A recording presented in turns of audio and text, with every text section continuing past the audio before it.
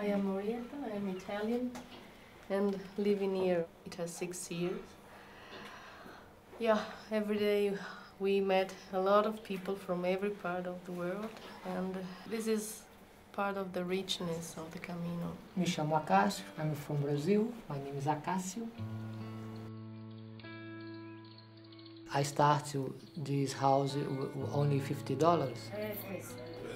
You need money to help open the door. I call Paulo Coelho to help us.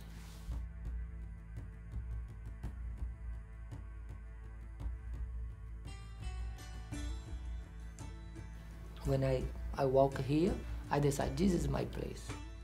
My family is not understand why why Acácio stop there. Why? I have many things in Brazil. Ah, Acácio is crazy. Oh, crazy, crazy. The Camino is quality, it's not quantity. It's not, I walk 50 kilometers every day. This is only kilometers. The Camino, you don't need many things, only one bag. And we hope that you can reach finally Santiago. Everybody exchange experience, everybody talk to another. All the time here you need to open your heart.